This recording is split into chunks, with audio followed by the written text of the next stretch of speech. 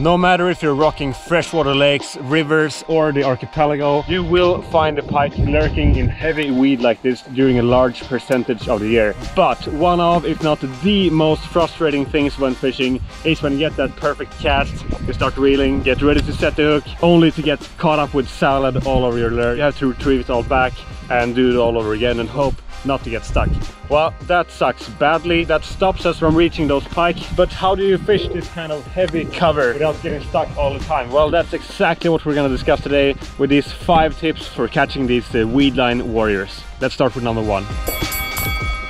Alright, so the first uh, tip or the first uh, discussion point is gonna be lures because that I would say is the most crucial detail when it comes to this kind of fishing to have the right lure. If you would throw any of your normal lures, you know, there are treble hooks all over the place to maximize the hookup ratio, but when you put these guys in a piece of salad, you will get caught up no matter what you do. So we're gonna leave this one in the tackle box today, and instead we are gonna use uh, lures and hooks more specifically designed for fishing in the, the weed. Some are more weedless than others, I would say, but they have a few things in common. I would divide these uh, weedless fishing lures in a few different categories. I haven't brought all of them uh, today here, but I'm gonna show what I have. And let's go bang on the target with the lure type, hook type that I use the most for targeting these uh, weed line warriors. And my number one lure type for this kind of fishing is uh, soft baits rigged on an offset hook like this, a weedless hook, which uh, looks like this. I guess most of you are, are already familiar with this, but you have a, a big single hook that you thread through your lure so it comes up like this. This way you can fish it through the weed. There's not much that can get stuck, but when that pike comes and attack it from behind, he will pinch the lure down, expose the hook, and uh, you know we will be able to hook that fish. Like I said, this is the the lure type and technique I use the most for this kind of fishing because it's so versatile. You can more or less rig it on anything as long as it's uh, not too big. Uh, then it gets hard to hook them. We also have more traditional lure types for this. Uh, for example, the spinnerbait has been used uh, for decades while fishing in the weed. Comes in every size imaginable. This is quite a small one for both the pike and perch but it looks like this. You have a single hook and then you have a metal arm like this with two, one or two blades. And this arm actually does a great job preventing any weeds slip onto the single hook while it's still very easy for the fish to attack it from behind and, and get stuck on this uh, nicely exposed hook.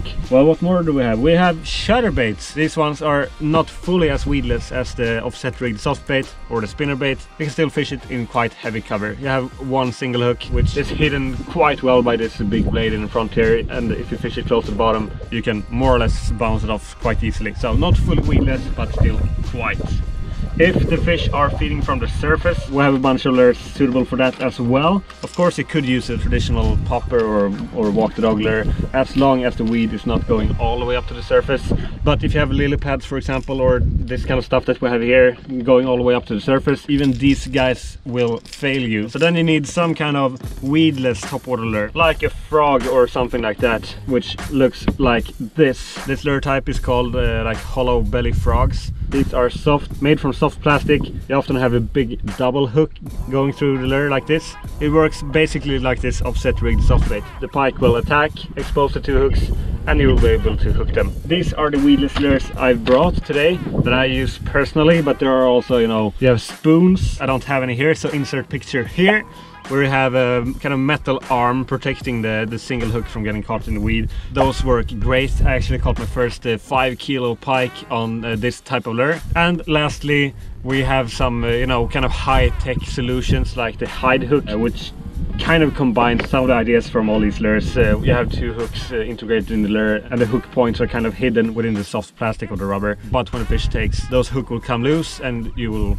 be able to hook the pike. I caught some nice ones in the past on that lure. I have no idea why I didn't bring any today. But well, I think it's time to get down to the actual fishing. See if we can even catch something, you know. Gonna start with this offset rigged flat nose shad in a color which I designed in Photofish. And if you're not familiar with that, that's uh, a tool we launched where you can design your own lure color and actually order them. So if you want to try that out, hit the link up here and that will take you to, to the place where you can design these guys. But now let's start fishing.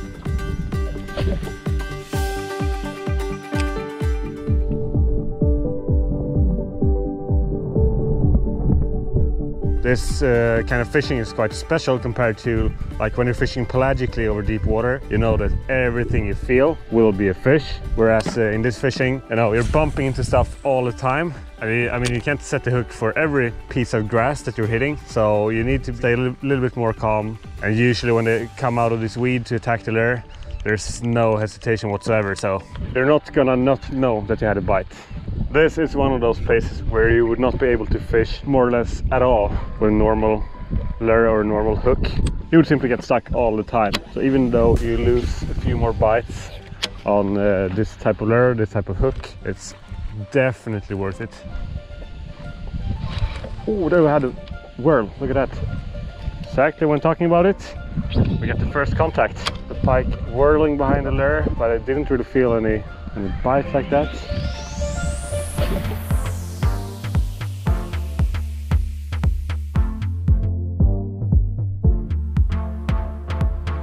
Moving on, and this is the salad we're fishing today. I'm not a you know Latin name guy, so if you know the name of this particular type of weed, let me know. But this is the stuff that we have a lot of here in the Baltic Sea, and the pike seem to like it. We're now in late summer or early fall, fishing a big shallow bay like this. So here's one for demonstration. You can see all the weed over here.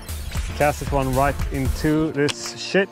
Now we'll see if we get caught up with weed or not. Even though I bump into them all the time.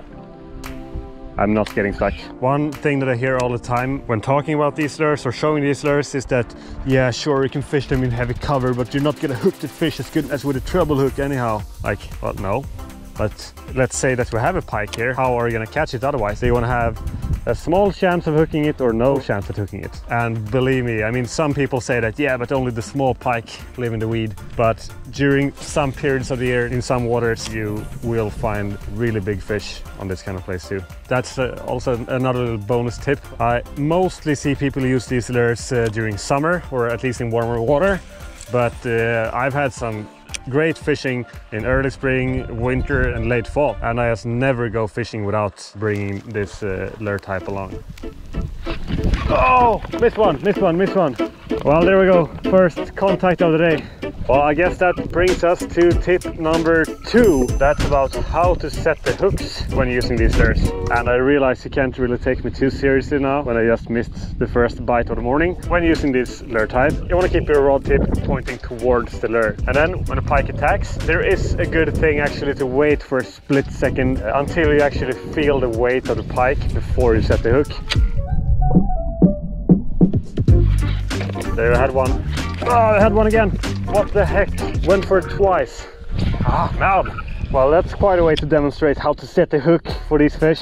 Not. I just lost the second fish on this flat-nosed shad, which I think was quite small. So change of tactics. Gonna try this one now instead. Like I said, a good thing when using these uh, offset rigged soft baits is that uh, usually when you miss them, they don't feel the hook and might take again much more often than when using treble hooks. So let's try.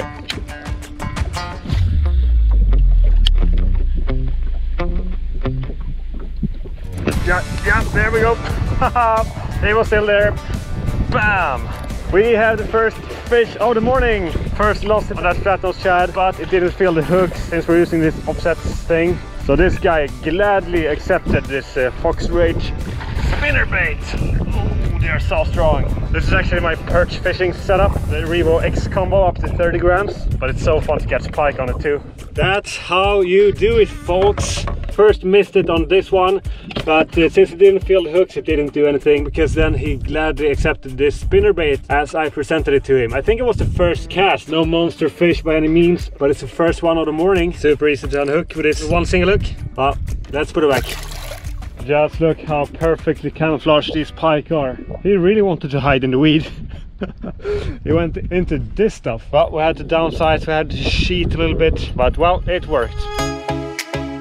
Right, let's move on to tip number three. And for this, we need to put those uh, weedless lures down actually and discuss, you know, what to do if for any reason you don't uh, want to use these uh, weedless lures. Then there are a few things to keep in mind if you want to use your normal, you know, treble hooks lures. This is another flat nose shad designed in photo fish. Normally, you want to make as long casts as absolutely possible to maximize your reach and cover as much water as possible. But on places like this, I know that if, if I would make a cast as long as I can in this direction, I would get caught in weed right away. So instead, what you should do is you should have your Costas on, you know, polarized uh, glasses, so that you see properly down into the water. That will help you see exactly where this weed is and where it isn't. And that way you will be able to see where the pockets are and where you can cast or not. And also not necessarily making as long cast as possible because if you get caught in weed over there, there's such a long way back for you before you can take that grass off the hook. Try to see where you have those pockets and the edges of the weed. Make short precision casts and uh, this way you will do fine with your normal treble hooks as well. I'm gonna try downsizing a little bit to this uh, monkey shad 14 centimeter. Still fishing it on a treble hook. So let's see. Trying to fish it right outside the heaviest weed. There we go. Yes! Downsizing worked. She totally smoked that monkey shad. This is the thing, I was just gonna start talking and explaining that this is the thing with these offset rigged hooks. They are great in heavy cover and even though you might lose a little bit of a fish, you also have a chance to hook them. But on places like this where you have a little bit of weed, with, but with, still with a lot of pockets in between, then there's no point to use these uh, offset hooks really. So then it's much better to, to go over to these uh, treble hooks. But man, was that a hard take. She absolutely killed this one. A lot of fun. Love this color for clear water fishing. Ice shad with a fully transparent belly and some silver glitter in the back. Back into the weed you go. You know what to say. It's not about the size of the pike in the fight, but about the size of the fight in the pike that matters. That pike sure could fight. I'm gonna go back to weedless and while we're entering this bay now, let's uh, talk about tip number four. And that is to keep your eye on what direction you have the wind or the currents, because it's not the case here, but sometimes you will have all the weed lying in a nice same direction like this, especially in rivers, for example. And when you have those situations, let's pretend we have that now, that all these weeds would be pointing in a certain direction. Then my tip is to cast straight against the wind or along the wind or against the current or along the current because you'll get snagged much easier if they're lying like this than if they're lying like this. I'm not sure if you're understanding my point here, but uh, well, that's, uh, that's a good tip to try to present your lure along the current or against the current. Not only will your lure slip through this grass easier, you will also, you know, when you have a current in a river or by wind, very often the pike will be positioned with the head facing the current. It can't be swimming backwards like this against the current. It has to swim against the current with its head facing where the current is coming from. And then you will have a much better chance to make that pike bite if you present the lure so that, so that he can see it like this then if he stands like this uh, compensating for the current and then all of a sudden here comes a flat nose bumping his ass. Then it will be spooked before even seeing the lure. So that's actually a good overall recommendation to uh, actually cast against the wind. Anyhow that was tip number four.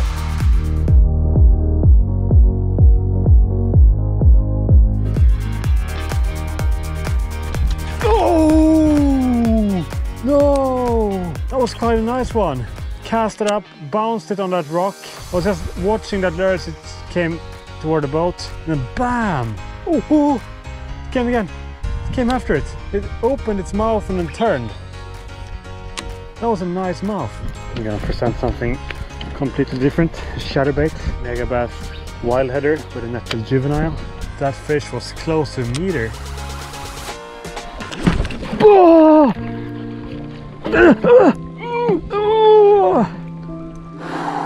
Did you see that take? Did you see how she smoked it? Well, it worked to change lure, but I failed. You know, sometimes when you're lost for words, now I'm lost for sounds. I don't even have a sound to match my feeling right now. First uh, missing it on this uh, flat nose shad, then changing over to this uh, chatterbait nettle juvenile thing and getting the bite of the year in the surface and yet I miss it. It was a nice fish folks, it was a nice fish. Talking not really a meter but just below, which is a super big fish for being these waters. Soon 9 o'clock, time for breakfast with the family. I have mixed feelings about today. But I've caught some fish, but I've lost too many fish, both on the weedless and with treble hooks. There we go! Yes! My alarm just rang and told me to go back home. Oh. And here we have the last pike of the day. Ah, yes, yes, yes. Thanks for proving that it's not uh, completely impossible at least to hook something with these hooks. Oh, yes. Nope. Well, that can happen folks. I almost count that one as landed. Feels good. We managed to hook it at least. Gonna make a few last casts of today. But before we do that, let's cover tip number five and that is regarding gear. And well, it's not that fussy, but overall my recommendation would be not to go too light for three different reasons. First of all, the hooks of these big offset hooks are quite, you know, thick. If you have too light of a rod, you won't be able to pinch this one through the mouth of the pike. Well, I know I'm not the person to talk about tips for improved hookups and so on but you have to take my word for it. So uh, that's the first reason. The second reason being that with a heavier rod, you will be able to twitch the weed off your hook much easier than if you have a soft rod, then you won't be able to make that sharp and hard twitch required to cut through these weeds. Then you will need a fast quite heavy rod to sharply twitch off that weed. The third reason is that when you fish in really heavy cover with a lot of salmon in the water, you might need to put some really heavy pressure on that fish to even get it up from the cover. We're not talking like extremely heavy stuff. This is my Gator small bait rod up to 110 grams, which is considered to be quite a light sized uh, pike rod here in Sweden. This is perfectly fine.